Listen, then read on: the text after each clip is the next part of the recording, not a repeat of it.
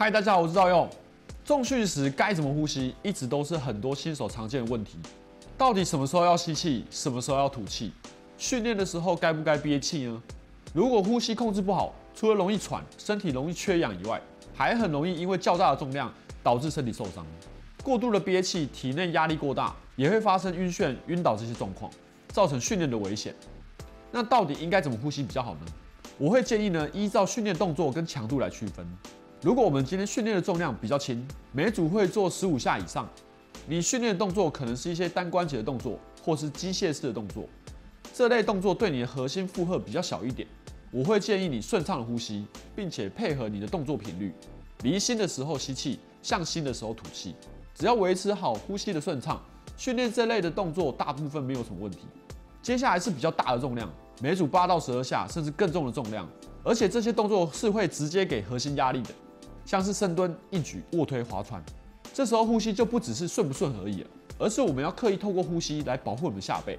我们的核心就像是一条轮胎一样，透过将轮胎充饱气，它就会产生很大的张力，甚至一两吨的汽车都能撑得起来。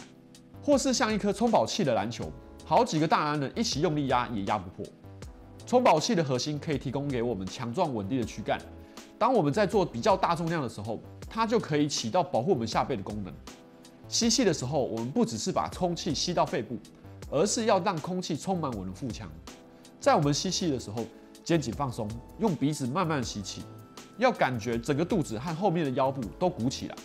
你可以透过卧姿屈膝练习用鼻子吸饱气，充饱核心的感觉。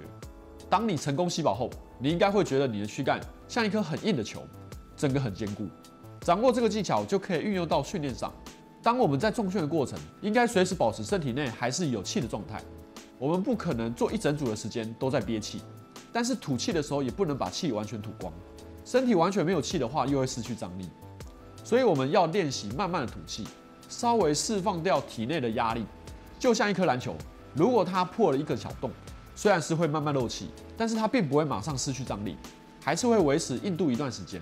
我们也要利用同样的方法来呼吸换气。每一次吐气的时候，不要把身体的气吐光，还是要维持两到三成的气在体内。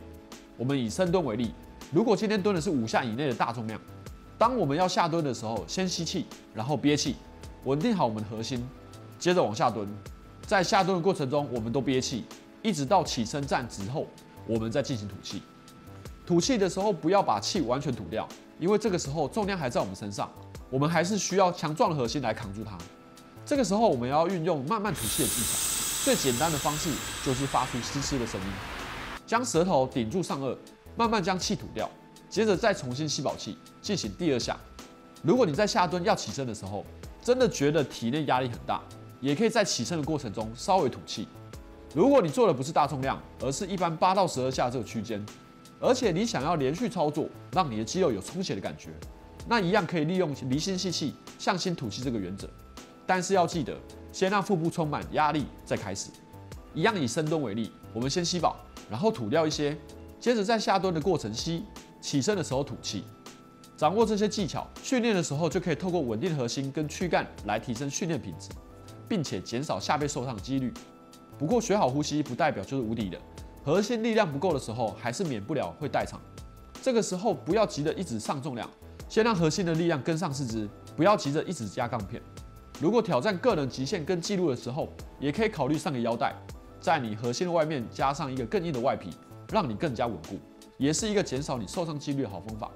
那我们今天影片就到这边，喜欢影片的话，请帮我按赞、分享、订阅，也可以按下订阅旁边的小铃铛，这样就可以在第一时间收到新影片的通知。也可以 follow 我的 IG 跟 FB，我们就下次见，谢谢大家，拜拜。